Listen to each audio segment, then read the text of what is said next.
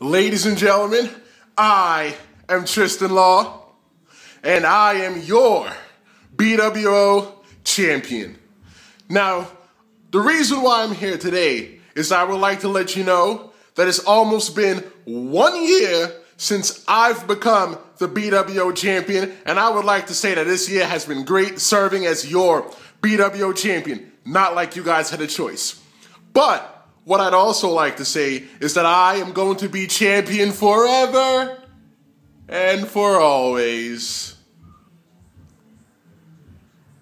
On, on December 15th, I'm facing a man by the name of Mark Dillinger in Elmwood Park at the American Legion.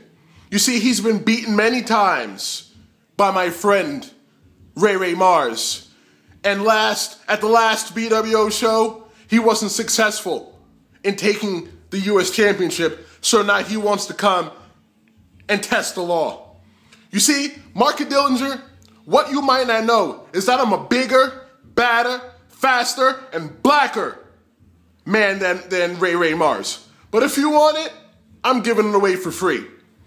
And um, Steve Off, the guy that I've beaten numerous times, the man that wanted to turn my lights off and whatever it is that he wanted to do to me. I would like to take this opportunity now to let you know that, Stephen, you will never, ever, ever, never, never get a shot at my BWO championship again. You see, Steve, you have obeyed the law time and time again. You have fought the law, and just like Mark and Dillinger will find out, the law will always win. Enjoy your holidays.